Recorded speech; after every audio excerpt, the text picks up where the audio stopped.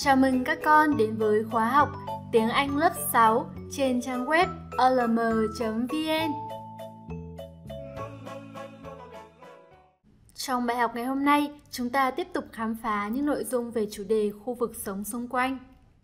Unit 4 My Neighborhood A Closer Look 1 Vocabulary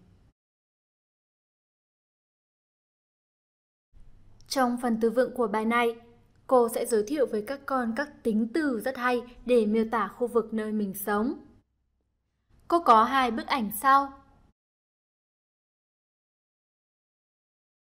Trong bức ảnh thứ nhất, con thấy có rất nhiều các phương tiện giao thông trên đường. Vậy điều này sẽ khiến cho khu vực xung quanh rất là ồn ào đúng không nào? Cô có tính từ noisy, Ngược lại, trong bức tranh thứ hai, ta có thể cảm nhận được không gian rất là yên tĩnh, có ít tiếng ồn.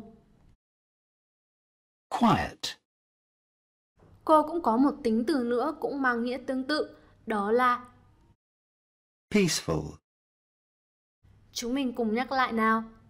Con chú ý thể hiện đúng trọng âm của từ nhé. noisy, quiet, peaceful, Rất tốt. Tiếp theo, cô có hình ảnh hai con đường. Con thấy sự khác biệt nổi bật nhất giữa chúng là gì? Chính xác, con đường này thì rất là rộng rãi, wide, trái ngược với lối đi rất là hẹp ở bên này. narrow, wide, narrow, Cô lại có hai hình ảnh sau. Con sẽ dùng cặp tính từ nào để miêu tả hai bức tranh này? Đúng rồi, những tòa nhà ở bên này trông rất là hiện đại, modern, còn bên này là những công trình kiến trúc cổ kính. historic, modern, historic, Chúng mình cùng củng cố các cặp từ vừa rồi nhé. Các con làm rất tốt. Tiếp theo, cô có hình ảnh một cô gái đang ngồi làm việc. Nhưng chúng ta có thể thấy được bầu không khí rất là nhàm chán, tẻ nhạt qua gương mặt của cô ấy. Còn ở bức tranh bên này thì không khí vui vẻ, hào hứng trong bữa tiệc được thể hiện rất là rõ. Cô có cặp tính từ trái nghĩa để miêu tả như sau. boring, exciting, boring, exciting, Ở trong bức tranh này, chúng ta thấy khung cảnh thiên nhiên tuyệt đẹp. Chúng ta có thể miêu tả một khung cảnh, một món ăn hay là một trải nghiệm mà con thấy là rất tuyệt vời bằng tính từ. fantastic, Khung cảnh thiên nhiên trong lành này còn gợi cho con tính từ nào khác nữa không? Rất tốt, chúng ta còn có tính từ clean, hoặc là fresh, để diễn tả sự trong lành ở đây. Cô có một bức tranh trái ngược, một khu công nghiệp với các nhà máy đang xả khí độc hại ra môi trường. Bức ảnh này khiến ta phải thốt lên là thật kinh khủng, thật là tồi tệ đúng không nào? Và chúng ta có tính từ. terrible, Bức ảnh này cũng là một ví dụ của ô nhiễm môi trường. polluted, Chúng mình cùng nhắc lại nhé. Fantastic, clean, fresh, terrible, polluted,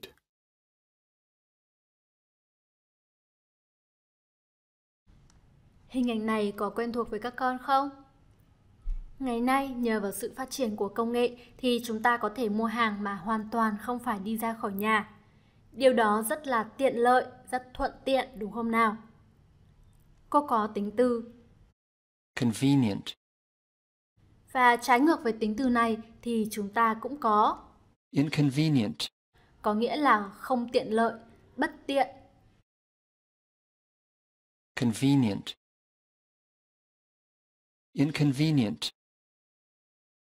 Vừa rồi là những tính từ rất hay để miêu tả khu vực nơi chúng ta sống. Các con hãy thử sử dụng các tính từ này trong câu nhé. Rất tốt. Chúng ta chuyển sang phần tiếp theo, pronunciation. Trong phần phát âm ngày hôm nay, cô sẽ hướng dẫn các con một cặp âm dễ nhầm lẫn, đó là âm E. và âm I. Thoạt nghe thì có thể con thấy là hai âm này giống với âm y trong tiếng Việt.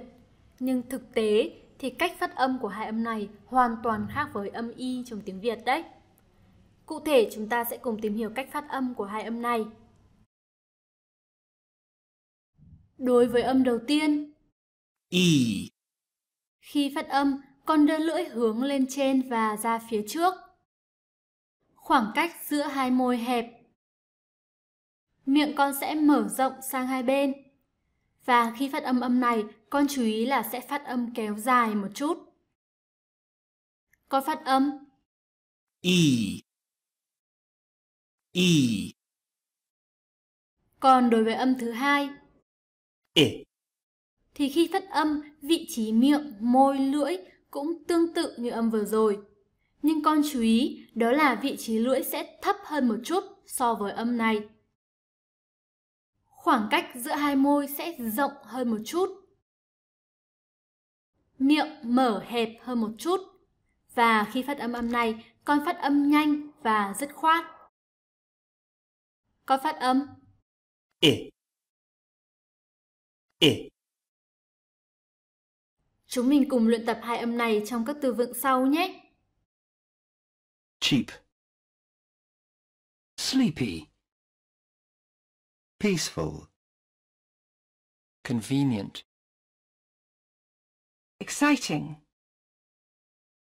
noisy, historic, expensive, Rất tốt. Và cuối cùng, cô có 3 cặp từ dễ nhầm lẫn. Con cùng luyện tập để phân biệt các cặp từ này nào. sheep, ship, heat, hit, leave, live. Con hãy củng cố kiến thức vừa rồi bằng bài tập ngắn sau. Chúc mừng các con đã có câu trả lời đúng.